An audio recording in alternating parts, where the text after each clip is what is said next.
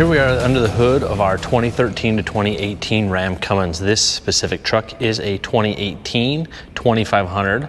So it has the 6.7 liter Cummins with the 68 RFE transmission, but this module will work in the 3500s with the Aisin trans. It's the same part number, 32711 is the part number on the device for this application. We're gonna start the install by disconnecting our driver and passenger side batteries. We just need a 10 millimeter socket and an 8 millimeter socket to do so. So we're going to disconnect this passenger side battery. We're just going to remove the negative terminal.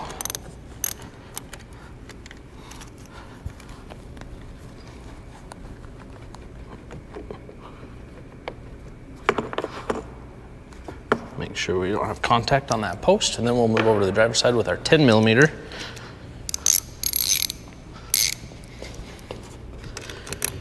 Do the same here.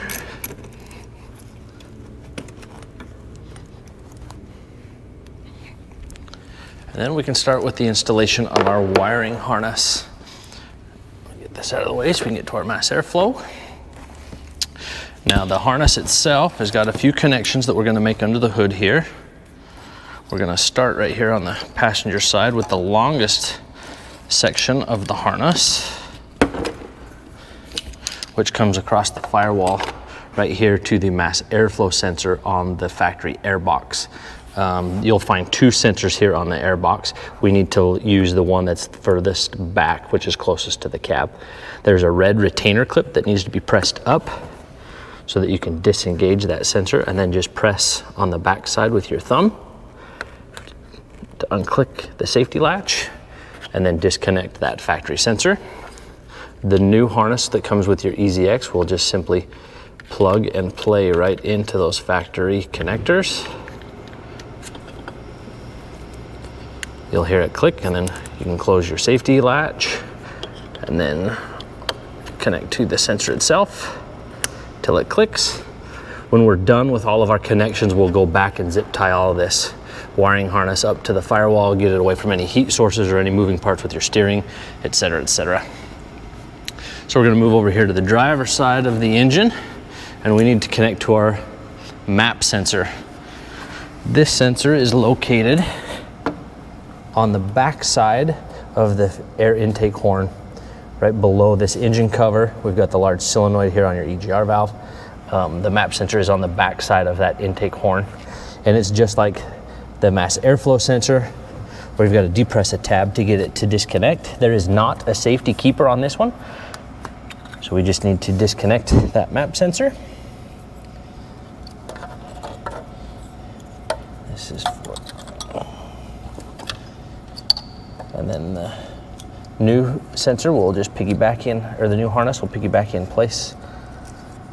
So one end into the wiring harness and the other end into the factory sensor. Got that one connected. Next, we're gonna move on to the fuel rail pressure sensor. This is the most challenging part of the installation. Uh, Ram did a really good job of making this sensor virtually impossible to get to. So it is a little bit challenging. It will take some time and some patience. The rail pressure sensor is located at the very back of the fuel rail, which is here on the driver's side of the engine. Um, the sensor is on the very back next to cylinder number six. In some applications, you can reach your hand between the master, brake master, and the engine. You can get your arm down in there and feel around until you can find that rail pressure sensor on the back side. But there is a clip that you need to uh, depress. It's hard to get your fingers on it. In our particular truck, the way that sensor is clocked on the fuel rail, we can actually get better access to disconnecting it from the ground. So you may need to try from above or below to get to that sensor, and you may need to enlist the help of a friend, um, depending on how that sensor is clocked. So we'll move on to the installation of that sensor next. We're gonna move down below the truck to get the factory rail pressure sensor disconnected, and then we can piggyback our harness onto it. All right, so here we are laying under the truck on the driver's side of the engine. So this is above the engine starter. You can see the bottom of the fuel rail. Um, and that sensor is hiding right behind that stainless steel shield um, or the, the engine hoist mount. So it's, it's not an easy spot to access with your hands um, to get that disconnected. So you may need to try from below or above. But once you get that sensor disconnected, you can take that EZX harness and then just piggyback it into the sensor and the factory harness. Okay, so we're gonna try and get you a better view of where that rail pressure sensor is located. So you have to forgive me for the shaky camera here, but we're gonna reach our hand back in here as best we can and get you that angle of that rail pressure sensor. It's right back here in the very back next to cylinder six. Uh, you can see this this black wire loom right here, it wraps around and the rail pressure sensor is right there on the back of that fuel rail against the firewall. There is a yellow keeper that needs to be pulled out with a pick tool or a pair of pliers and then the uh, sensor can be disconnected and removed so that the new EZX harness can be plugged into it right there.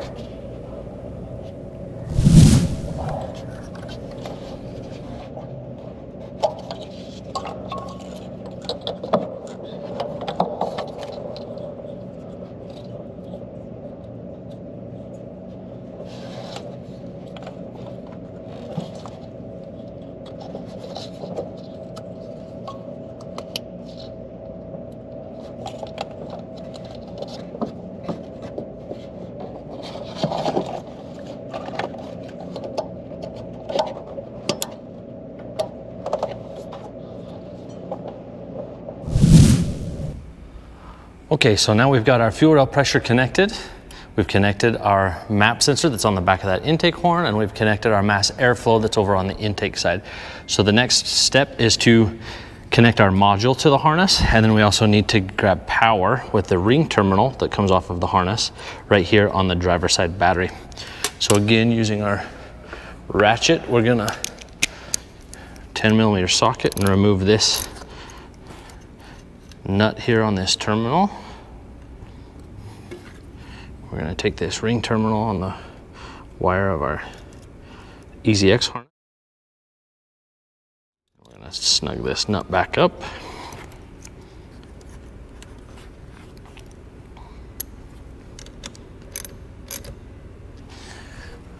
Now we can connect our EZX module to the wiring harness. You'll see that it'll only go in one way and it will click once it's seated. And then we've uh, included some uh, zip ties and some Velcro that will allow you to mount this here under the hood. Um, next, we need to move into the cab. You'll see this short end of this harness with this small six pin access link on the harness that needs to go into the cab of the truck. Now there's a couple places you can do this. You can do this through the shift linkage um, port on the firewall. There's also a, a plastic cap located on the firewall that we've opted to slice a hole through so that we can get this harness routed and run into the cab. And once that's through the firewall into the cab, we can then move in there where we can connect to it and then make our connections at our CAN bus line with the Starlink connector uh, and at the accelerator pedal. So we'll move on to that next. All right, so here we are in the cab of the truck. We're gonna connect to our accelerator pedal position sensor, which is right here at the top of the throttle pedal itself. You can, like the other sensors, you have to depress a tab with your thumb. And then that will simply disconnect.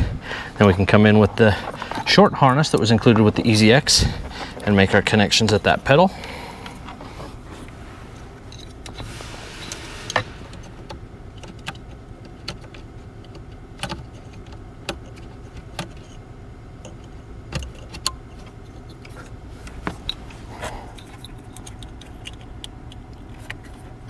like that.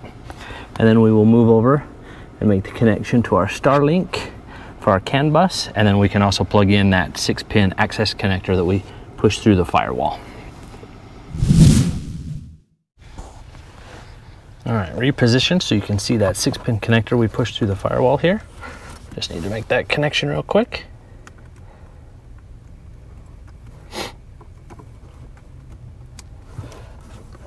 And then the last connection we need to make is this small star connector for our CAN bus.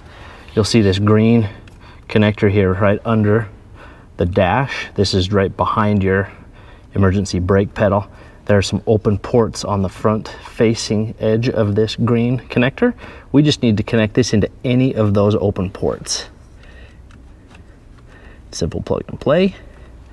Now we can move on to installing the app on our phone um, and then working through the features that are on the phone. At this point, the module will work and run through the power levels with the steering wheel controls. Um, your cruise control buttons will turn the power levels up and down, but that app will give us more access to a bunch of the features that are in the EZX itself. So we'll move on to that step next. So at this point, we've finished the installation of the EZX harness and module, and we need to reconnect our battery terminal so we can power the truck up, connect our app, and then we can start walking through those features. So again, we'll move over to that driver's side get that battery post connected. It was that 10 millimeter on this side. Make sure that's good and tight for a strong connection. Then we'll move over to the passenger battery. That was the smaller eight millimeter. Get that one on, tighten it up. And then like we mentioned before, we've included some zip ties in the kit so that you can go back and zip tie this harness up to the firewall away from the manifold, the heat sources, any of the moving parts with the EGR system. So once we get that all tidied up, we'll move in um, and we can start walking through the, the different features on the app. Okay, so we've completed the installation of the EZX harness and module under the hood. We've been out and driving the truck. We've been able to use our cruise control buttons to turn those power levels up and down. Can feel that extra 45 horsepower and 117 foot-pound of torque. Really makes a difference in the drivability.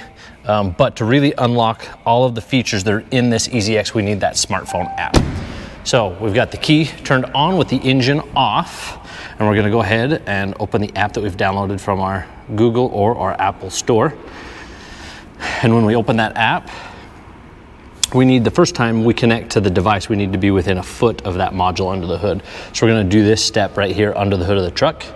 Um, once it's connected, you'll be able to do all of your feature control and open the app and do everything from in the cab. The Bluetooth signal is strong enough then, but that first connection we want to be right here under the hood. So it's detected that this is the first time we are connecting to the module. The app needs to check for module updates before continuing. This could take 15 minutes or more. Once you start the update, you will not be able to drive your truck until the update is complete. If now is not a good time, choose cancel and close the app. We're gonna go ahead and select continue.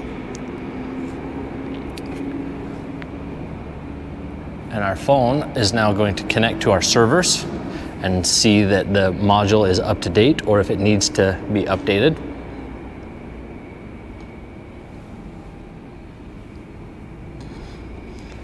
The app has recognized the serial number on our module. It's also recognized the part number, the 32711, which is specific to the 13 to 18 Cummins. It says that we're up to date. Press back to continue.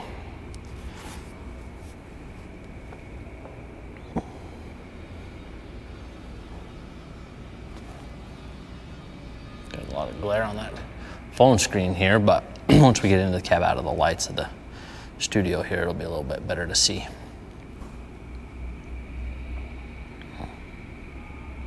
So here we are in the home screen of our app where we can walk through all the added features for the 13 to 18 models. So we're gonna go into the cab of the truck where we got a little better lighting and we'll start walking through all of these features of the device.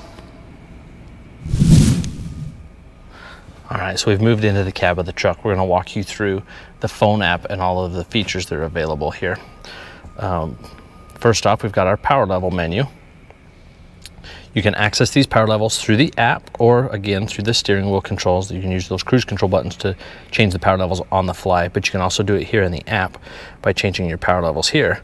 The nice thing here with the app is that you can actually go in and edit your throttle sensitivity. You can see that we've got preset levels. So power level one has the throttle sensitivity of one, power level two, sensitivity is at two, et cetera, et cetera, all the way up to power level five, which has got it set at sensitivity 5. But if you want to go in and fine tune that throttle sensitivity, adjust that pedal lag to your liking, you can simply press on that button to the right that showed the plus 5 and we can go in and we can select any one of these different pedal settings for that specific power level. So if we want a more aggressive pedal, we like power level 5, but we want it to be even more aggressive, so we get into that power curve even sooner. With less throttle input, we can actually bump that up to our number 6 ludicrous level. So now power level 5 now has that number 6 pedal feel. But we can go in, we can also do that, say we like daily driving or towing on power level three, but we want a more aggressive pedal there as well. We can go in and edit that pedal sensitivity on that power level. Um, so you can kind of fine tune each power level to have that pedal feel that you prefer the best. Um, the other thing to note is that when you cycle through your power levels, you can see that the LEDs change on here. It also changes on the factory dash display. It's now displaying level four on our factory gauge cluster. If we change that power level to two, it's updated here. It's also updated on the screen. The screen on our cluster now says level two. Same thing with those cruise control buttons like we mentioned. We can press our resume and set buttons and see the power levels change on the display itself. It'll also update in the app.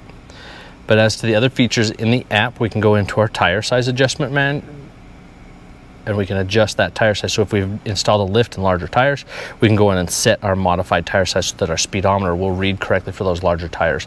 The one thing that we do need to mention is that you don't want to input the size of the tire that's printed on the tire. So if you're running a 35, 12, 50, 20, um, it's not likely that that tire is actually 35 inches tall when it's mounted and balanced and on the truck.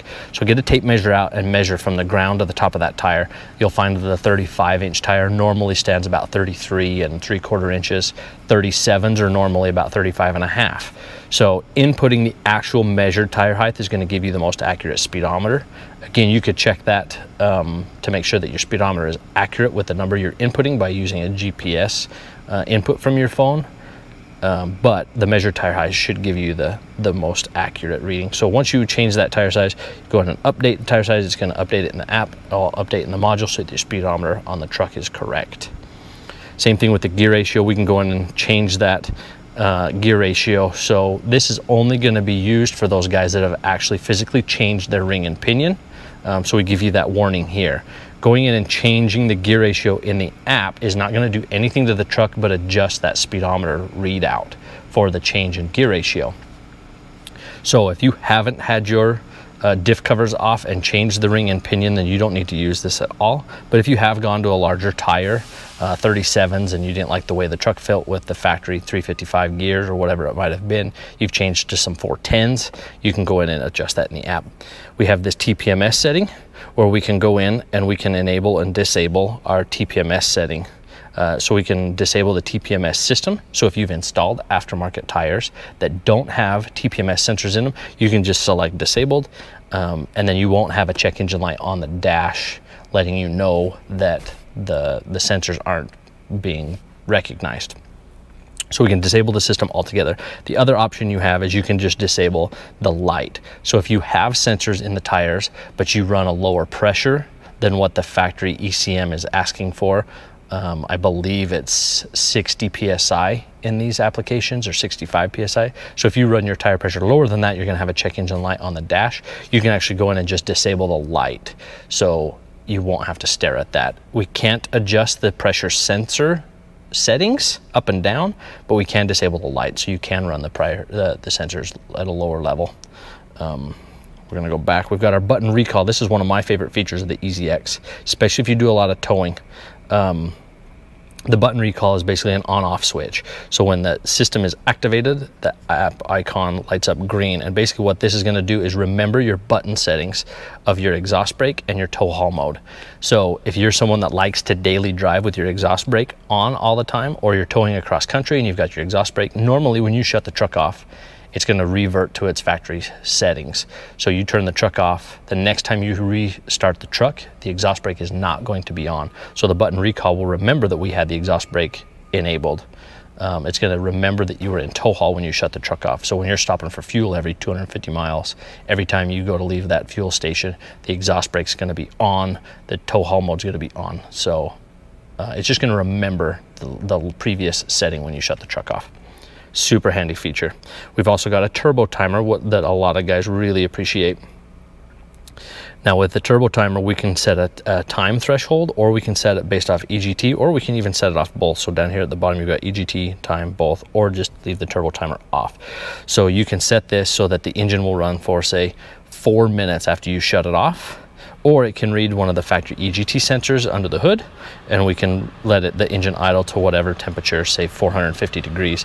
So when you shut the truck off, take the key out of the ignition, the engine is going to stay running until you reach one of those thresholds if you've got this system enabled. Next up, we've got our max cruise. This allows us to go in and adjust the max cruise control set point. In the Cummins applications, it will not allow you to engage cruise control over 85 miles an hour. The app in the EZX will allow you to set that as high as 97 miles per hour. Next up is our fog with high beams. This is again just an on-off switch. So this EZX will allow you to keep your fog beams on when you engage your high beams. Um, so that's just a, a, nice little handy feature. Um, the fog lights won't turn off like they do factory when you go to high beams. The ECT Protect, this is just a tile to let you know um, what the ECT Protect is. So this is engine uh, coolant protection. So this is basically just telling you that the device is not going to add any power. If you're in power level five, you're not gonna get any of that additional power until the engine gets up to operating temp. So when that coolant temperature reaches a certain set point, then it'll start adding that power. Um, additionally, it will also reduce power if your coolant temperature gets too hot. So if you get up to say 235 degrees or 240 degrees coolant temperature, the device will actually start turning the power down in a safety mode back to the factory settings. So that's just to give you a heads up that the device is going to add or take power away um, when it needs to based off of engine temperature. We've got our DPF regen here, and this is uh, basically allows us to perform a manual regen. So it gives us all of the, the uh, criteria we need to be at to perform that manual regen. Now the truck is obviously automatically regenning when it needs to, um, but there are times when it doesn't go, get to go through a full, uh, full regen or the regen uh, fails and you may need to do a a manual regen, normally you would have to take it to the dealer, take it to a repair shop to have them do it. The EZX allows you the ability to do that manual regen yourself and save you some repair costs. We got to have the temperature up to a uh, engine has to be up to 160 degrees. We've got to make sure we've got the fuel level above 15%, and then it needs to have been idling for at least one minute. Uh, we're not obviously going to perform that regen now, but the device will give you the ability to do that. Last of, uh, feature is the diagnostics. This will allow us to read and clear trouble codes. The nice thing is, is if you read a code and have a code, um, it'll tell you what that code is, and then it'll actually tell you what has triggered that code. So it can kind of help you with some of the diagnostics and maybe save you another repair bill because you can do some of that yourself through the app. And then we can also check our emissions readiness. So if you live in a county or a state that requires emissions testing, um, there are quite a few different sensors that have to be set in the truck before you can have that emissions test done. So before you get to the emissions center, you can actually check to make sure everything's ready and set so that when you go to do that test, you're good to go uh, and they don't send you away to drive the truck more to get those to set. The app is super easy to, to move through, a lot of functionality. Um, up in the top left corner, we've got the hamburger button that gives you a bunch of the product information. We've got our serial number, the app version. Um, we can actually link over to our Edge website um, if we wanted to look at any of the other products we've got available for your application. So it is a super user-friendly app that gives you access to a lot of features that the competition doesn't offer. So we're, we're not only adding power, we're reducing that pedal lag with the built-in throttle booster, but we're giving you access to a bunch of these other features that the competition's devices can't do. Um, this is a great upgrade for a daily driver. The guy that does a lot of towing is really going to appreciate what the EZX can add to this truck. Again, we, we do in-house emissions testing so that we have, we've tested the, the tunes, the calibrations that are within this device. We know that they are going to be emissions compliant. We've already submitted uh, our application to CARB so that we can apply for our EO. It's just in a waiting process for that. Um, but we really look forward to getting this out in the market and you guys getting it under the hood of your trucks. Um, you will really appreciate that uh, mid-range torque when you're towing your trailer. Again, 45 horsepower. It's not a giant gain in horsepower, but it's it's a modest improvement that you can definitely feel when you're daily driving. The improvement in throttle response, acceleration. Um, you may even see an increase in fuel mileage because we're making some adjustments to that fuel rail pressure. Um, some of our beta testers were seeing 10 to 20% increases in fuel mileage depending on how you drive uh, and the situation. Obviously, we don't make any specific claims to mileage, but uh, you could expect to see some. Um, Again, this is this is safe for a stock truck. You can run this in a 100% stock truck, factory airbox, factory exhaust. There needs to be no other upgrades to run the EZX, um, and it's tuned and calibrated to be safe for your factory drivetrain, um, safe on your factory emissions equipment. So as long as your driving um, stays consistent, you shouldn't really see any change in uh, regen frequency or um, anything like that. So we think you'll really enjoy the way the, the RAM responds to this EZX being installed. Um, if you have any questions, be sure to vi uh, visit Edge Products website. You can check out our social media channels at, at Facebook or YouTube. Um, stop by your local authorized Edge dealer, get some more details, uh, and let us know if you have any questions.